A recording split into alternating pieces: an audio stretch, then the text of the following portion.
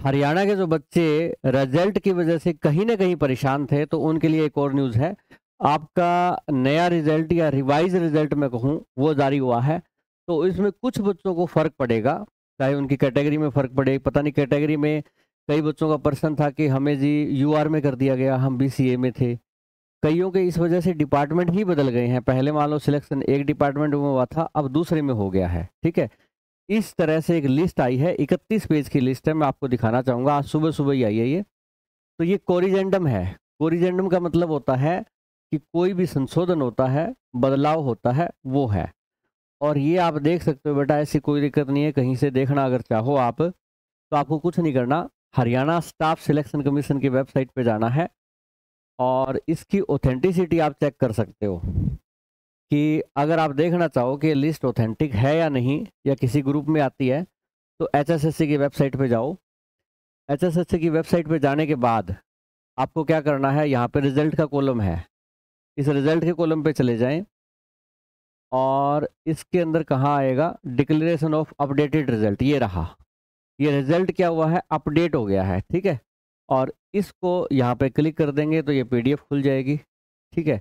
इसमें इन्होंने बोला है कि 17 अक्टूबर को जो रिज़ल्ट जारी हुआ था, उसके अंदर इनको ग्रीवांश मिले हैं। इन्होंने एक लेटर डाला था ना कि किसी को भी कोई दिक्कत हो तो ये हमारा ग्रीवांश पोर्टल है, आप अपनी समस्या बताओ, हम उसको सुनेंगे, देखेंगे, तीन वीक का टाइम भी दिया शायद उसमें उसमें सुलझाएँगे। तो ये वही लेटर है, ये देखिए इस वेबसाइट पे खुल गया, इकतीस पेज का लेटर है, ठीक है? तो यही लेटर मैं दिखा देता हूँ आपको। हाँ ये लेटर थोड़ा सा बड़ा करके दिखाया हुआ है मैंने। और इस लेटर में देखिए, यहाँ पे रोल नंबर दिए हुए हैं।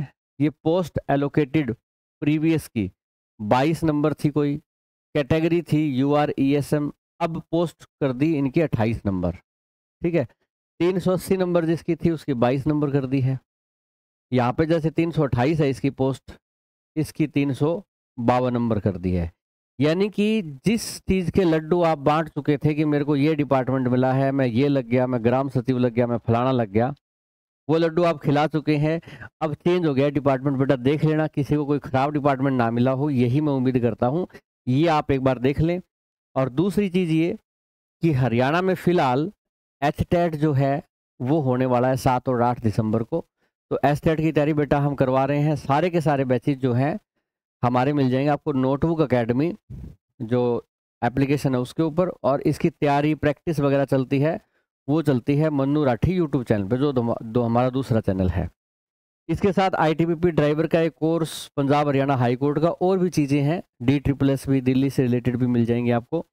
हरियाणा सी जो है, अभी नया होने वाला है, ये ट्वीट भी कर दिया है, जो हिम्मत सिंह जी हैं चेयरमैन एच के। तो अब इसकी तैयारी स्टार्ट कर देते हैं सी बैच हम जल्द स्टार्ट करते हैं। ठीक है तो आप सब लोग भी जुड़ के और मिल के सी को क्लियर करते हैं। तो आज के लिए इतना ही। वीडियो पसंद आई है तो लाइक कीजिएगा। रिज़ल्ट आप देख लीजिएगा, वीडियो को शेयर कर दीजिए, ताकि आप रिज़ल्ट देख पाएँ। पीडीएफ में टेलीग्राम में शेयर कर देता हूँ।